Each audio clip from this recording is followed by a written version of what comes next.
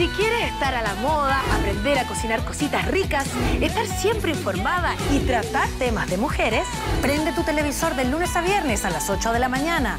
Mujeres primero. Un matinal pensado en nosotras. No lo olvides.